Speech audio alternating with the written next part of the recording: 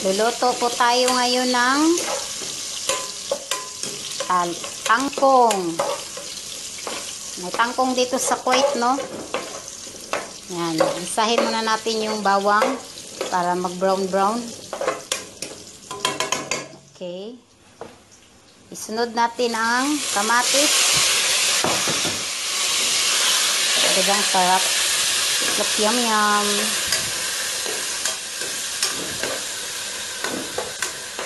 Yan.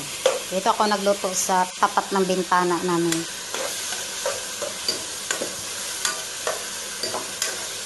Hmm. Gisa lang ng gisa.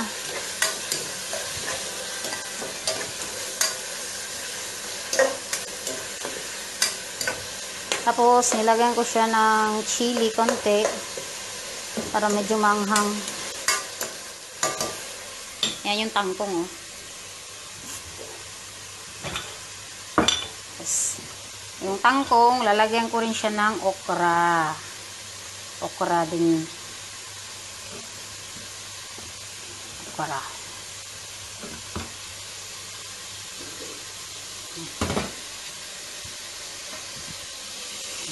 Direct.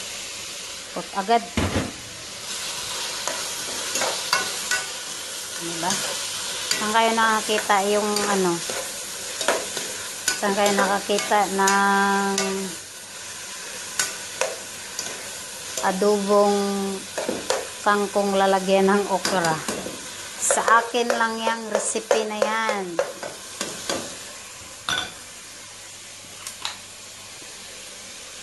let's uh, let's add chicken tira-tira chicken na tira-tira uh, hindi na ubos tatlong araw na sa refrigerator wala nang kumakain hindi ko alam kanino to kinukuha ko lang ilagay ko siya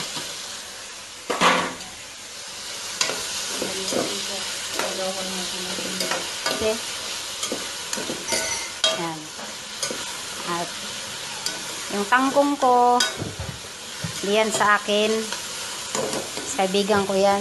Ano yun? Nag-vlog ka na naman? Nakikiluto lang ako. Kasi wala akong pambili eh. Hindi lang, video lang yan. Lagyan natin ng mantika ulit. Yan. Sa akin lang kayo makakita ng adobong tangkong na may okra ha. Recipe yan. Recipe ko yan. Yung mga pagkain dito, makikiluto na lang ako kasi para makakain ako. Yan. Kailangan, pag kumakain ka daw, kailangan magtyaga ka para makakain ka. Yan. May tuyo dito. May tuyo dito. Di ko alam kung kanino tong tuyo. Basta manguha lang ako ng tuyo. Yan. Tuyo mo to, Lisa? Ah, paminta. Manguha din tayo ng paminta.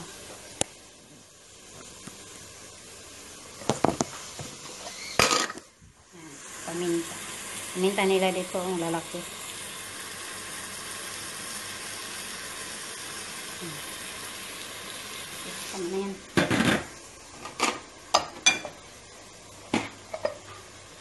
Tapos, Isa-gisahin lang. Para masarap. Quick lang yan. Quick. Op! Yeah. Sabi oh. Yung tangkong ko. Anak lang kuma, ganyan lang magluto ng tinangkong guys. Kakain na yan sila. Para makakita ng tangkong ganyan. Kaya na nating apoy. Kaya medyo malakas. Okay.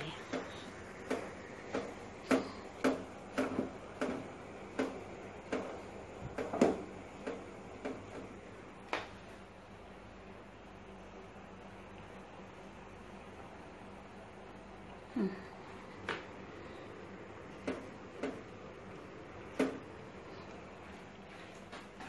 Lagyan ng tubig konti para may sabaw.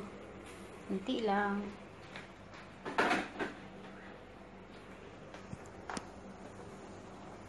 Opa. Lagyan natin ng pakit. Tapos hugas.